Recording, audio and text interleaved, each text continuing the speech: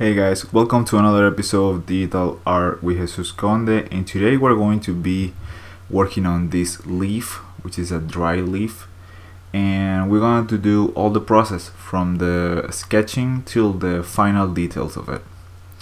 So the first thing we have to keep in mind um, as you guys know is the reference uh, because when doing a sketching it's very important to to know what we're, what we're dealing with uh, some of the details that are on the on the sketch and well all the process of the image will come from those few images that we see at the beginning.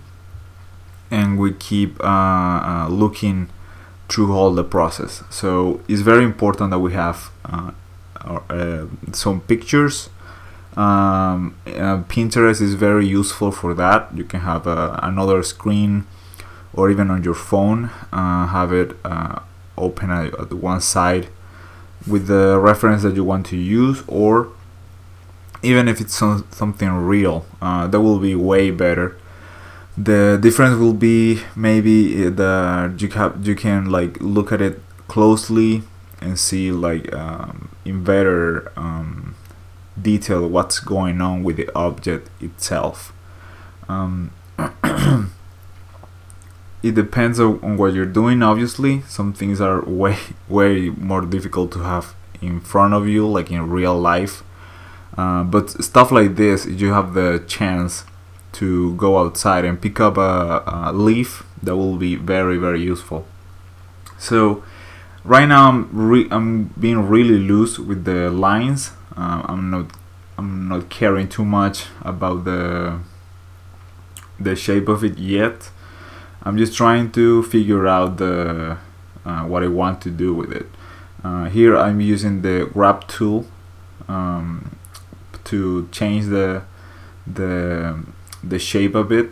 It's very very useful sometimes when you're doing something and you and you feel like it's very stiff. You can just use the the grab tool and you can just morph it a bit to get it uh, right especially when you when your drawings are very flat when you use a wrap tool you get to you get to um, make that little effect where the lines are having some kind of flow. So that's very very useful. If you don't know what the wrap tool is um, is in edit transform and wrap. But I put a um, a keyboard shortcut on my on my Photoshop um, to have it with Control W, and that really helps to speed things up. so while I'm doing this, I'm obviously looking at reference, so I I don't uh, lose track of what I'm doing. It's very very important that you use the, the reference all the time and you also have a little bit of freedom you don't have to uh, draw exactly what you're looking at. That will be another kind of exercise. That will be like a study. You will be doing like a study of an object and and stuff like that. But if you wanna you wanna learn to paint stuff on your own from your imagination you have to like interpret interpret the the the, the things that you look in order to create uh, new stuff and at the end you like you end up uh, drawing a little bit of all the references. Um, so it looks a bit different obviously uh, in terms of uh, the quality maybe the realism. But at the end it's something that you made up uh, from yourself. If you if you want to be like a concept artist uh, which your job will be to make ideas constantly that will be kind of like your job uh, to to reimagine stuff and do it in a way that it wasn't like that before. And do a lot of research and stuff like that. And right now I'm just adding some holes and stuff just to remember just to remember like that this thing is really old. Uh, well not not old like is is dead like is not green is a is a brown leaf is an autumn uh, leaf fallen from the from the tree. If I don't put those it will look like just a new leaf in the sketch. Doesn't make any difference if it's green or or brown. So in, even in the drawing you have to specify what you're doing um, in order to do good. And if you have a good drawing which is very important if you have a good drawing uh, every every every step every next step will be just way easier um, to do. So right now I created a new, a new layer underneath and now I'm painting with the with you can do it with any brush just don't use a circle soft brush because it will be like a spray or it will, it will be like a something like that yeah you know like um, like the the tool they use to make body paints and stuff like that that will be kind of like a spray kind of thing and that is not what you want. What you want right now is a is a hard brush meaning that all the edges should be just uh, hard no any soft uh, corners or edges on your brush. And you just wanna uh, fill it with all the uh, like all of it with the same color um, at the beginning. And then we're going to be applying other colors just to give some variation. You have ways to put color variations to your brush but that that is not what we're doing here. Right now we're going to take things uh, kind of slowly and build our image adding ingredients. So that's basically what we're doing just adding ingredients till we achieve a level of um, quality that will uh, permit us to do detailing without having to go back uh, too much. And oh I forgot this thing or I forgot this another thing. So you just add these ingredients in this order and you will have a decent uh, amount of information that will allow you to keep painting uh, without any trouble so something that we could do is create a is to create a layer mask. So if you create a new layer like that and you then do right click uh, on top of it you can just click on create clipping mask and that will connect the layers in a way that everything that you paint like that will be uh, inside of the one that you did before.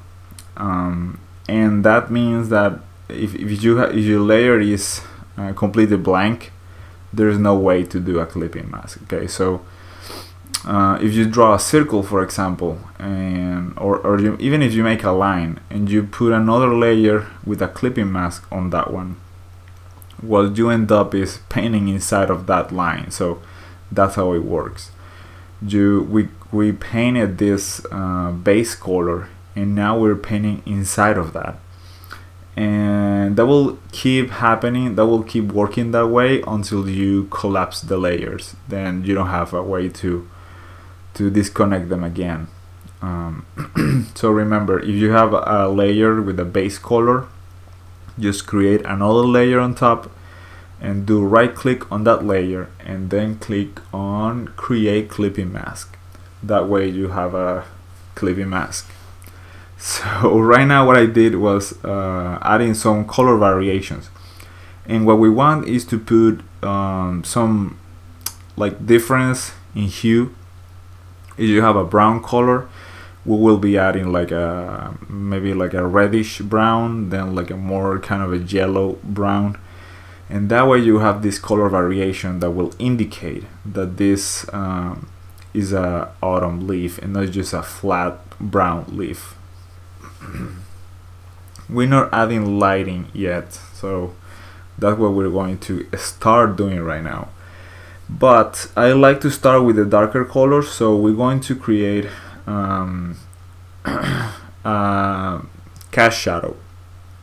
To know where a, uh, where a cast shadow is going to be projected we need to know where the light is coming from. And that's why we create this little circle there which is which means that is a uh, the lighting source. So that lighting source will be some kind of a light bulb uh, in our imagination. It will be this direction. So we need to kind of uh, start painting our cast shadow. In and you have to imagine that this leaf is laying down on the floor. And because this is like going up in that direction this leaf that means that the the floor is flat. So you'll have this shadow that is actually really really flat on the floor and then just uh, and, and the leaf just goes up.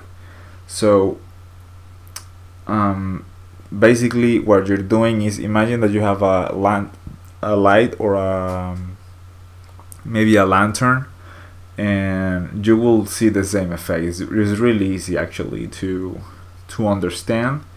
Not too much to do because uh, you have to you basically have to train your eye to to see how cast shadow works. And the cast shadows are really important. It's, it's what's really give um, the 3d kind of like the 3d uh, illusion of it because it's what it was basically what gives depth to your to your drawings. So having this shadow there makes it look like the floor is flat and you have this uh, arched arched um, leaf that is going up some, some kind of a curve. So that's really important. Something else that I wanted to do uh, you will have cast shadow on the floor obviously. That's the that's the most basic cast shadow that there is. You you will see it all the time when you're walking when you're at home. Every time that you have a light source you will have a cast shadow of you. But you also cast shadows on yourself. Um, if you are sitting for example and you have your arm up let's say uh, well depending on where the light is coming from you will have a shadow of your arm projected on your on your body. So that happens too. And we're going to try that um, with the leaf. There's a part of the leaf that I believe in my mind is kind of bent so we're going to try adding a shadow that looks kind of like that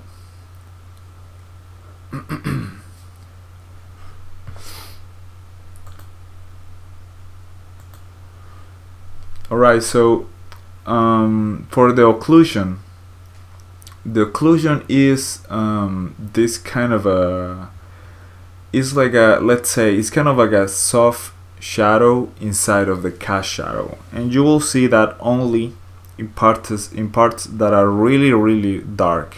Um, for example if you see the shadow of a car on the street you will notice that in the center uh, of the bottom of that car uh, I mean on the floor is gonna be even darker so stuff like that. If you close your hand, for example, in a fist, you will notice that between your fingers there are kind of like black lines. Those black lines are, are not actually black lines. We are not um, cartoony characters. We don't have lines anywhere. But those lines are kind of like there's no light in there, so it's kind of like a shadow. Um, even if you're looking at light, you will see that some parts uh, of that fist that you're making are really really really dark. And that those lines that that are made there are basically uh, occlusion shadows. Well, that's the way I can explain it uh, more easily. Um, if you have uh, let's say some a lot of objects together uh, you will notice that uh, at some point they're getting even darker. You have stuff in your closet. You will see that between the like between the clothing you will have even darker shadows. Those are occlusion shadows. And right now I'm trying to do what I was telling you a few minutes ago which is uh, creating a, a cast shadow on top of the object. Because it's projected on itself. Um, so that kind of thing is uh, actually really really important to to make the object uh, more believable. Because that what happens in real life. You have shadows um, you have shadows projected on the floor you have shadows projected on the object itself. Is is is really dark because we haven't add any bounce light yet. So just keep that in mind. When you're working uh, some of the stuff is going to look really really dark and really kind of like a film noir feeling which are these uh, those really old movies that are in black and white for example. And you will get that feeling that this that your paintings are getting really dark but that happens when you haven't had any bounce light or fill lights or anything. So right now I'm just trying to figure out the volume of it um, I'm adding some variations in that volume. And I collapse the layers. To collapse the layers you can just select all the layers that you want and press ctrl E. Or I believe you can do it selecting all the layers and then right click on the layers and click on where it says merge layers. By the way if the layers are blocked you cannot do that. You cannot just press ctrl E. You will have to select them and then press ctrl E and that way it will work. Alright so now we're going to jump into highlights. The highlights are basically just where the light hits the most and perp perpendicularly. Um, well this, this actually is, is actually uh, where the light hits perpendicularly but um, I'm trying to like combine two things because there's a specularity um, and the highlights will be like the the brightest uh, spot. But I'm I'm referring myself to the highlights are, are as the volume or where the light is hitting. And it's, it's important to make that difference uh, because I'm just trying to explain as easy as possible and not get too too much into different uh, terms and stuff like that are complex. So right now what I'm doing is just adding um, light where I believe it should be lit the most. And that will mean just a brighter color of the same ones that you have. You can just select it with the eyedropper and just uh, paint um, uh, a brighter color of that same color and that will kind of give the illusion that there's some uh, there's brightness there that like is even more bright than the rest of the of the image. It's basically the opposite of what we were doing with the shadows. Now we're adding uh, light instead of adding shadows. We're lighting. We're we're adding the opposite thing. And as I'm doing this, I notice that that bottom, that lower part of the of what I'm doing of the place I'm I'm painting right now is it could look like it's bent toward us. So that's a cool thing. Um, I went back here and I'm I'm kind of like fixing some of the the smoothness of the of the painting because it's really really um, sharpened so what I did to do this is just grabbing the same color with the eyedroppers mostly the ones in between uh, not the darker not the brightest but kind of like the middle ones and just painting at 50% opacity. Um, you can change the opacity with the numbers uh, actually when you're painting with the numbers on the keyboard but the ones on top of the keyboard not the ones on the right in the numerical keyboard just the ones on top. So that way you'll see that you have a little bit more of volume there. And now I'm kind of going to add uh, some specularity but not too much because the specularity is actually part of the it's more like a reflection uh, kind of thing. Um, but it's basically the color of the sky.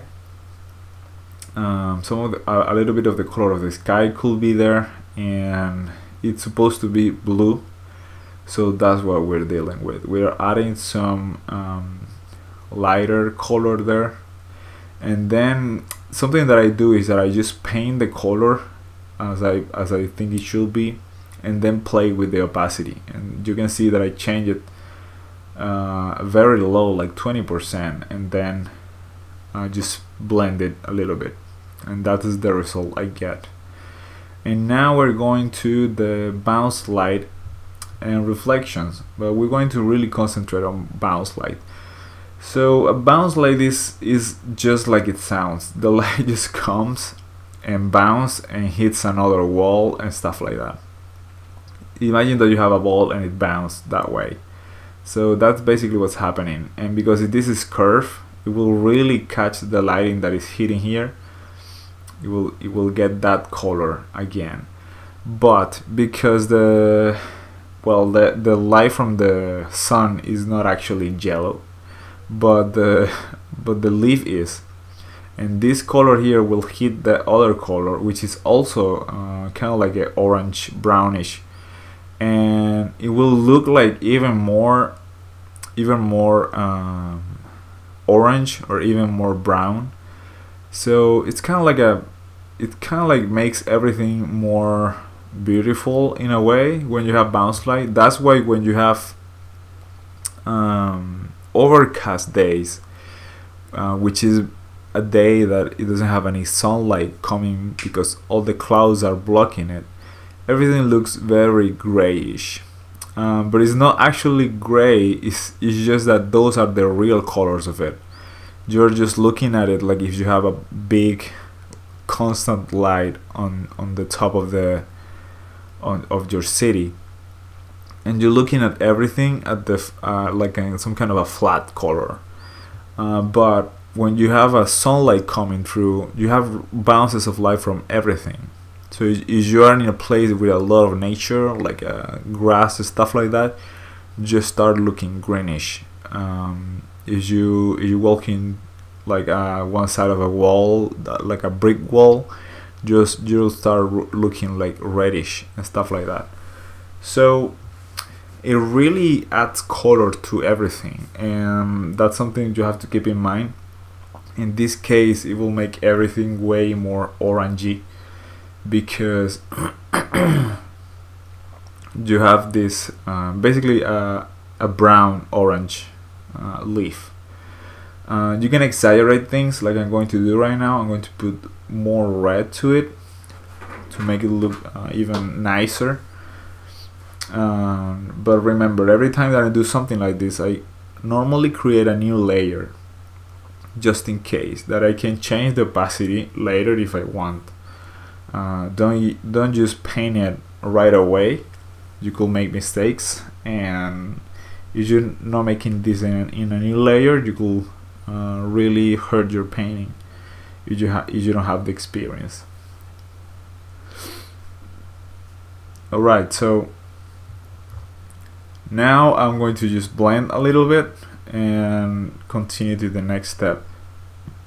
But I believe it's starting to look uh, better. Like things are getting more colorful nicer. Um, it's just something that you're kind of like developing adding more ingredients and it's starting to look good.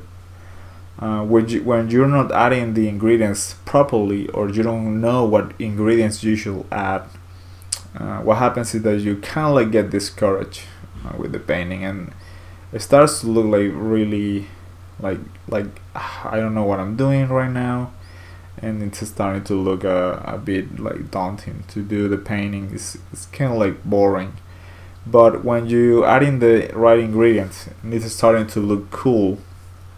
Uh, you kind of keep want to keep doing it and that's uh, that's something that I think is really important when you're working that you kind of want to keep working on it. Because if you if you are like a concept artist for example and you don't like what you're painting um, I'm not sure everyone anyone else is going to like it either. So it's very important that you you kind of know uh, what to do to to get the proper result. And sometimes you're gonna like what you're doing but other people won't like it. But at least you know that you did you did well technically. And that's that I, I believe that's important too. Like to be happy that what you deliver is what what you wanted to to deliver. And it's not just something that uh, I didn't have time to paint this I just getting this because I have more time on the deadline. That sometimes the deadlines are just daily. I just have to accept it but I'm getting to another kind of topic here. Anyway the backlights and source of subsurface scattering subsurface scattering is basically what, what happens when you turn a lamp like a lantern on and you put your hand on top of it like your hand gets uh, reddish. Um, and that's really what subsurface scattering is. Is a light coming through the object and penetrating the surface of it and going through. So depending on how thick or the composition of the object is um, the light will be um, you, will notice this more or less um, I believe that the leaves are kind of a um, are really translucent but are more translucent when they are green uh, or at least that's the impression that they gave me. Uh, when you see like a light like a tree and the light is trying to come through you will see those very very beautiful green leaves with uh, catching all the light and the light is going through them but in this case is is uh, completely dry. And maybe in the edges you could have some sorts of scattering but I'm actually not sure not sure how much you you will be able to see this effect especially if it's laying down on the floor. But because we are painting and we're, we're, we're just trying to achieve a result that looks good and looks beautiful we're just going to put some a little bit of rim light like like back uh, backlight on the edges and add some color on it like it's like if it's catching the light and everything is going like a little bit brighter. So stuff like that.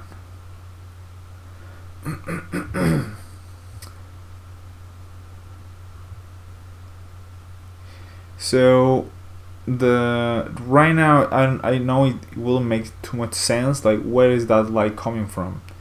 Uh, but as I said before we do have a little bit of freedom on what we're doing. And if I wanted this to look very very nice um, I'll just add whatever I need to achieve that. And for me that looks nice when you have those little lightings. And you can see the difference of what we had at the beginning and what we have now. And I believe it's really really uh, going somewhere. Notice that the subsurface scattering wasn't too much. If we were painting like a face or something like that we will have a lot of subsurface scattering on the ears. Uh, that will be the play with more concentration of, of that. Alright so and now we're on the final stages of this image uh, which which is are the final details.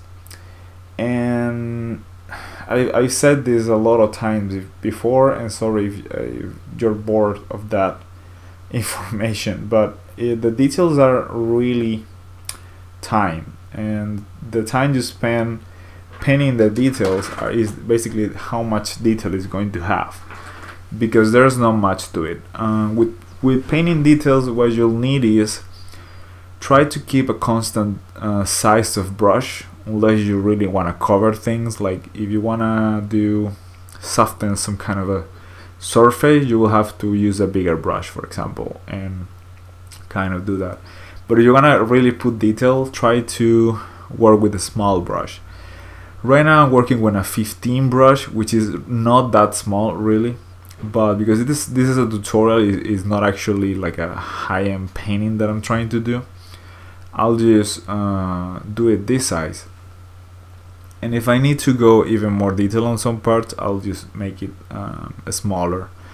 But the smaller just keep in mind that the smaller you make your your your brush um, the the more you're going to spend painting the details because you have less a brush to cover. So that's something that you have to keep in mind all the time. It's very important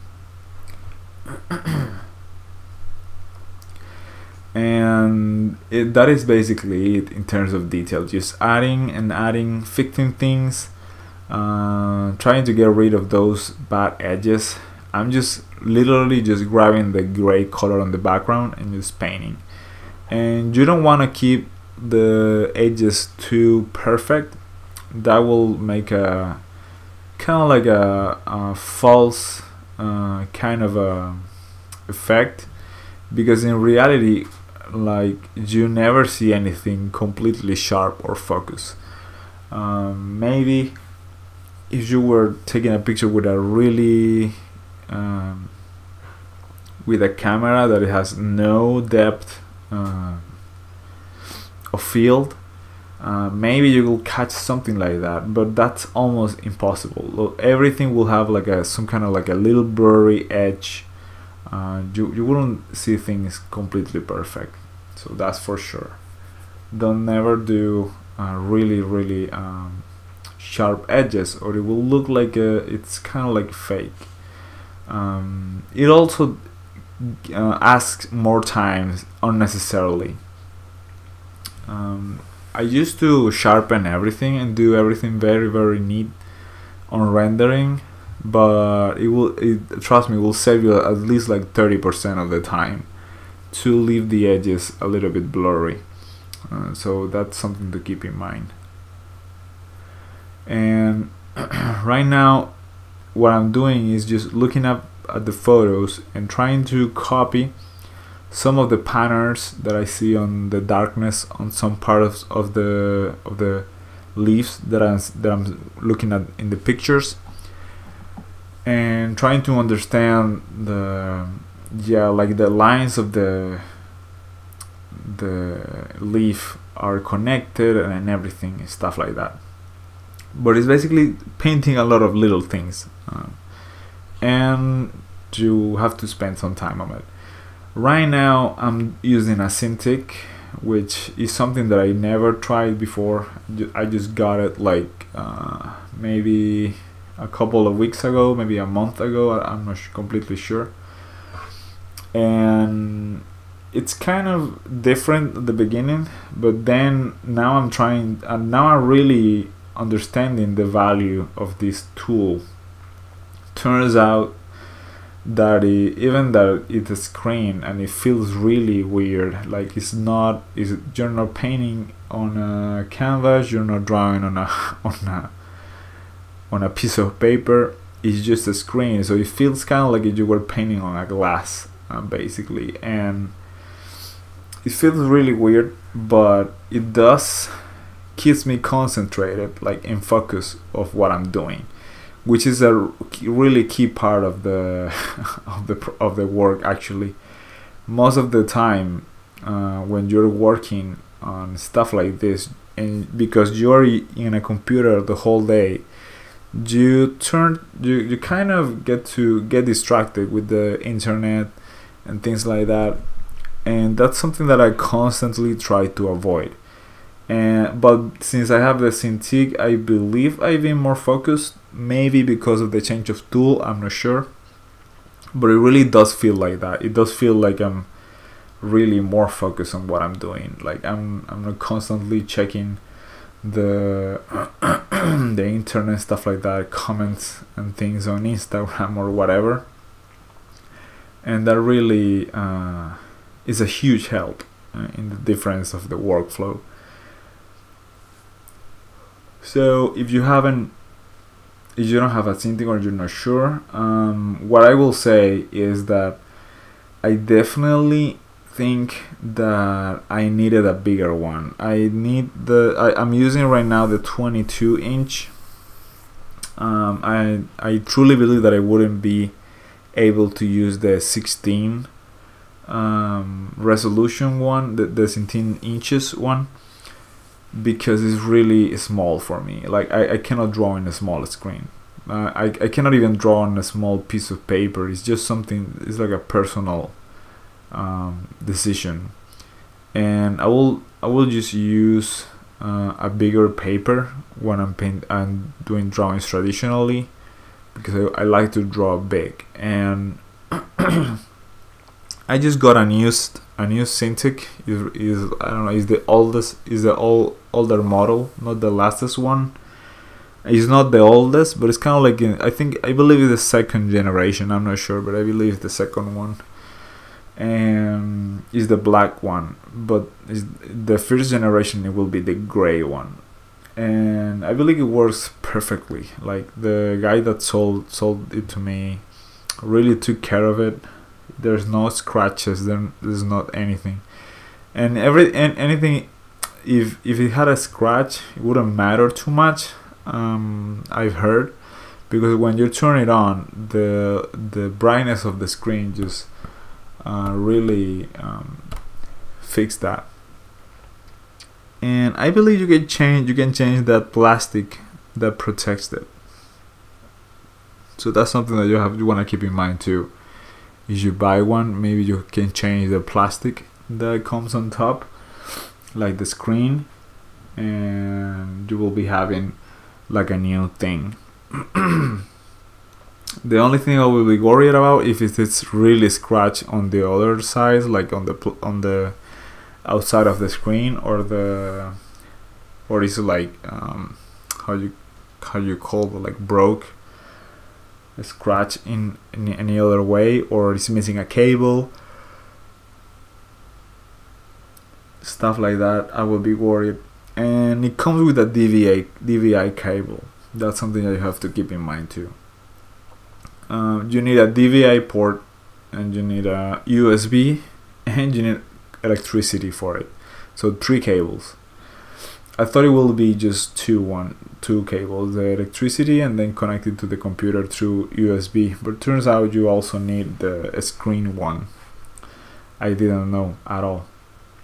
Okay so right now I'm painting more of the I'm trying to fix that shadow shape uh, and then I'm going to bend the leaf a bit more. Because right now it's looking like that shadow doesn't make any sense too much. So I'm going to use a lighter color. I just grab it from another place and I'm going to fix that a bit. I'm going to turn these tips of the leaf so it looks like it's bending.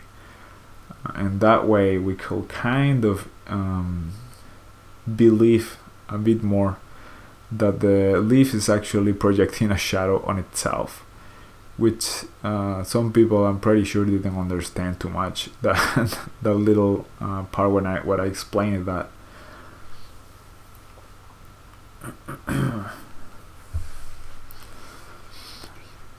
And what do I need here? I need a lighter color. I'm, I'm just putting a lighter color there so you can really see uh, those little uh, edges of the of the leaf and getting rid of, of the other ones. And now it's starting to look more like it's bending there. It really make a difference that that little shape.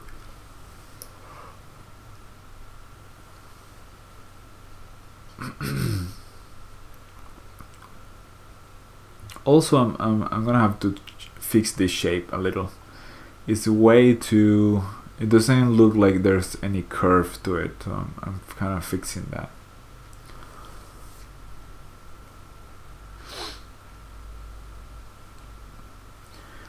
Alright I'm really not sure uh, how much I can I can say in this uh, part. The final detail is so so much about interpretation of what you're of what you had and what you need that it really comes to all the all the steps that we did before. The steps that we did before are way more important than this right now. Here I, I believe I'm missing some highlights so I just add a lighter color to it. Uh, but I already had a base uh, of highlights before and I already have all the ingredients that I did before but right now I feel like it's missing that so I'm adding a little bit more. So that's what the detail part is all about. Just kind of like fixing your image adding what you believe is needed. Um, I believe it needs more needs more like holes on it. Uh, those little lines are really necessary. Uh, when I look at photos of, of leaves you can see how those little lines actually bend the the leaf really really little bends that it makes to it. So all that stuff is really important to to get the the feeling of the of this leaf to look more realistic.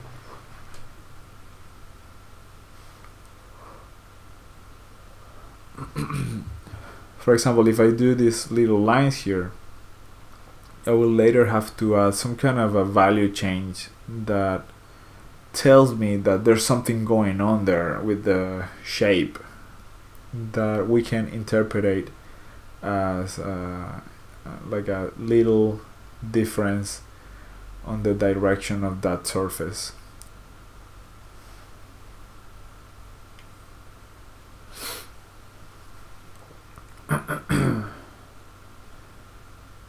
Maybe more shadow here. Maybe we could add some more red to it. I'm not completely sure yet.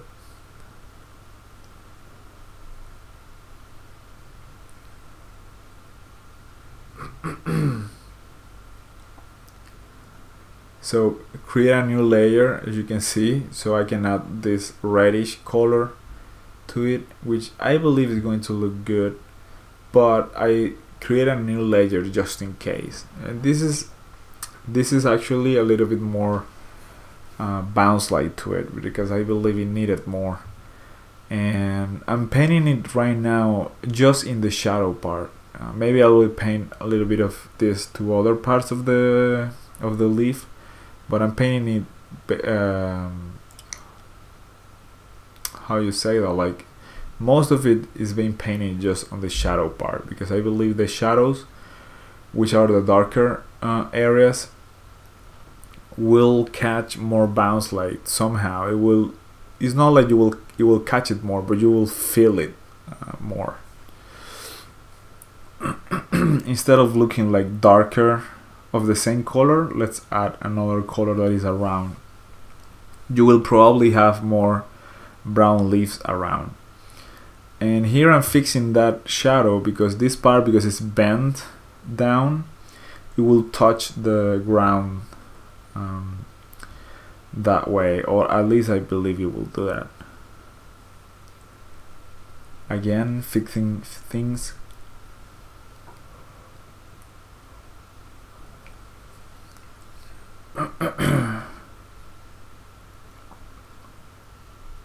yeah, I'm I'm kind of happy with the result I got. Which is again something that is really important that you like what you did.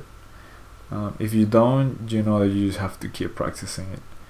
Uh, right now, I, I believe that shadow look way too dark, uh, too dark and brownish. So I just grab gray, and I'm repainting uh, a bit on top.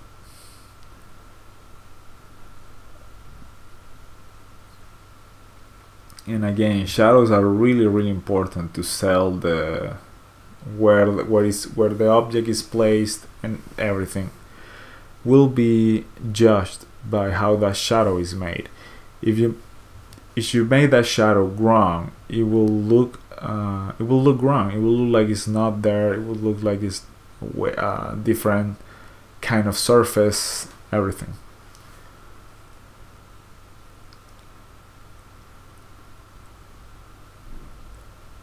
Now this edge has to be fixed. New layer, just painting there, and adding those colors.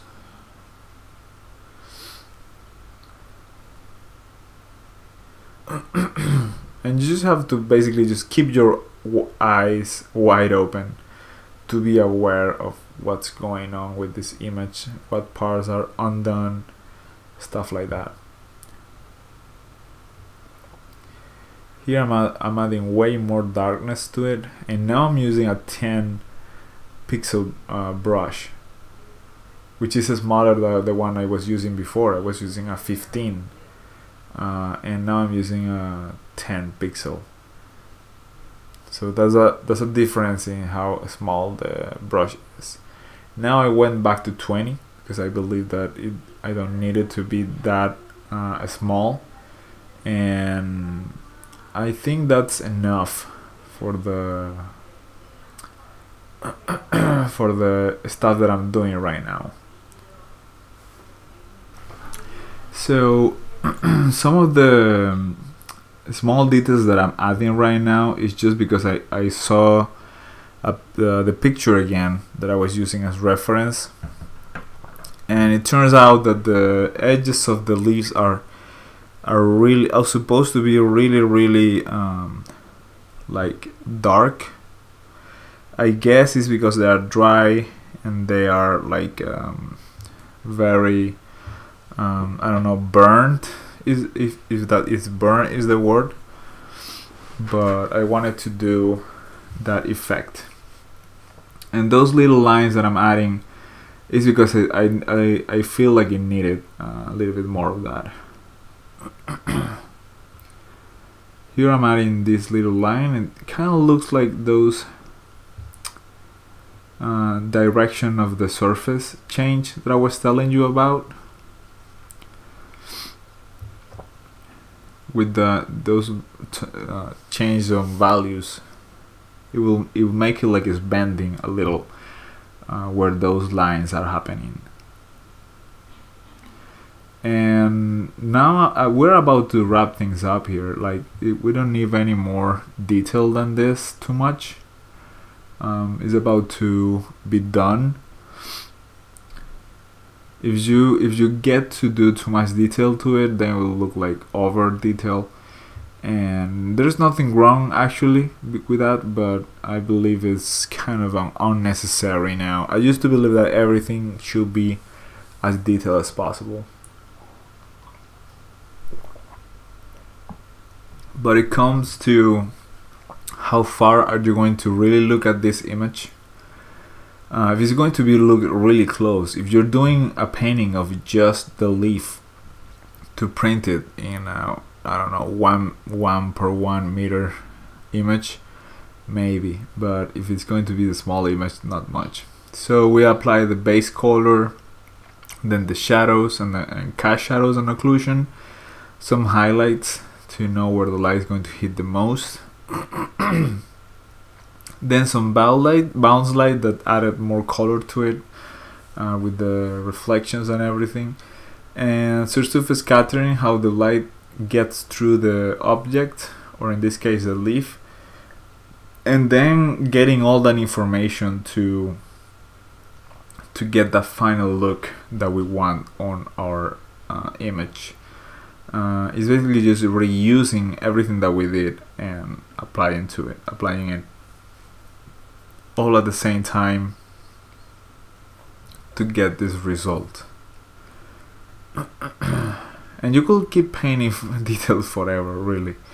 You could just paint uh, for hours and hours but the I will I will say that the the thing that you should do is just consider this painting finished and go to the next one so you can keep practicing. But get it to a decent amount of um, finishing. So I'm going to share some information here. Thank you for watching the video. Uh, if you want to check other cool channels there's Easy Sosa channel. And in Spanish you have some um, some ones at the right. And on the left you can see my links. I have the Instagram Twitter and there's a group uh, Facebook groups. The links are in the description where you can share the stuff that you do. Um, and there's a lot of people getting there. I don't know how many followers we have right now there, but there every every day there's like five new or six, uh, sometimes ten uh, daily. So there's always people coming. If you want to share your work, you can do it there with no problems.